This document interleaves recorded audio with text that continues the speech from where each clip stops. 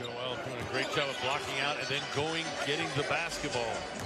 So good at faking from beyond the arc and taking it all the way to the rack. Joel with the jam here in the first. It's the guy who closes out. Look at the closeout. Not so good. Falls for the little pump fake there and then